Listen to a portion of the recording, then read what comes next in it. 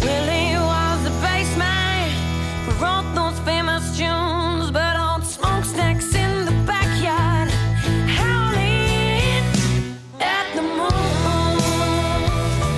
Wow. Please do it in that box like you got no.